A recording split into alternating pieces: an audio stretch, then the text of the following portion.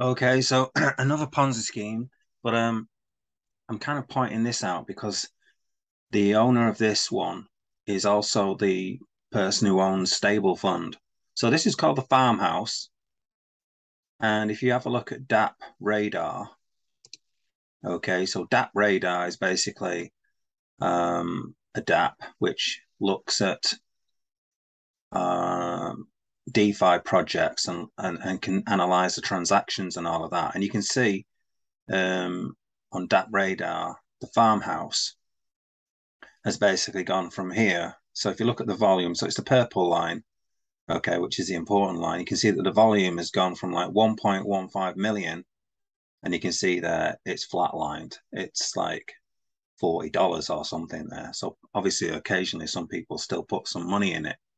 Okay, but basically this is a dead project. Okay. Now, if you have a look at um, the audit, okay, the important thing is if you have a look here, the high high issues. Okay. Now, what it says is the high issue. The system used is called ROI. Okay, so that's re return on investment, and must be considered as, as high risk. Users' principal deposits cannot be withdrawn. So, in other words, you put a thousand pounds, thousand dollars in, and you can't withdraw it. Now, users can get dividends and referral commission. Okay, so dividends are paid from deposits of other users. Okay, do always invest with proper knowledge and investigation. So, so that is the important line there. Dividends are paid from deposits of other users. So in other words, more other users coming in pay the existing users. That is, and that is the definition of a Ponzi scheme. Okay, so the person who created the farmhouse also created stable fund. Now at the moment, if you go on DappRadar and look at stable fund, you can see the purple line. You can see it's going up. Okay. So what that means is more people are joining joining Stable Fund. They're hearing about it from other friends.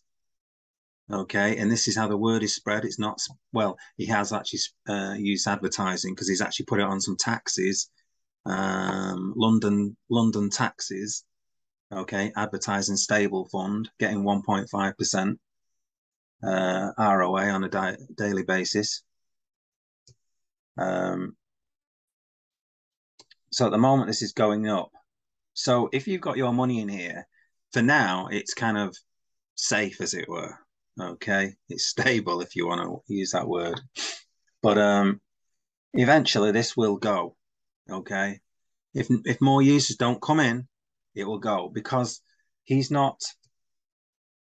I don't believe he's trading your your funds, and if he was, uh, well, he should be um, he should be registered. Okay, he's registered as a business, but that's not the same. Okay. Uh, you know, he's not like in he's not like uh, Fidelity. For example, if you go to Fidelity, type in Fidelity. Okay, we look at Fidelity. And we go right down to the bottom. Okay. This website is used by Financial Administration Service Link, which is authorized, authorized and regulated by the Financial Con Conduct Authority, okay, FCA. So now on his stable fund account uh, website,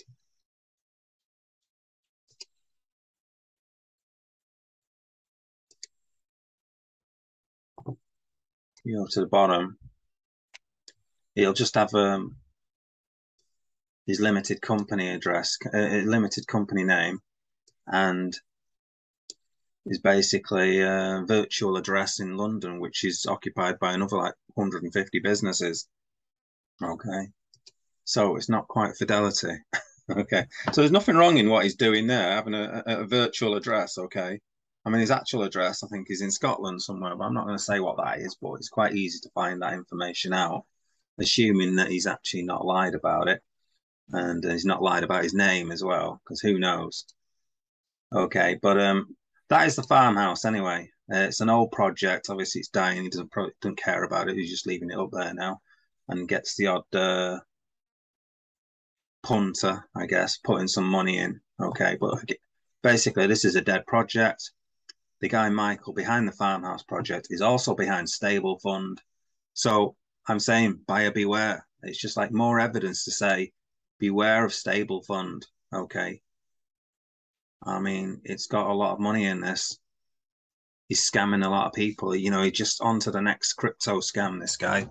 You know, and he's fought up with a very good one, I've got to say, pretending that he's creating some in, um, some money by using robots. Very clever. I've got to hand it to him on that that score. But it all is a Ponzi.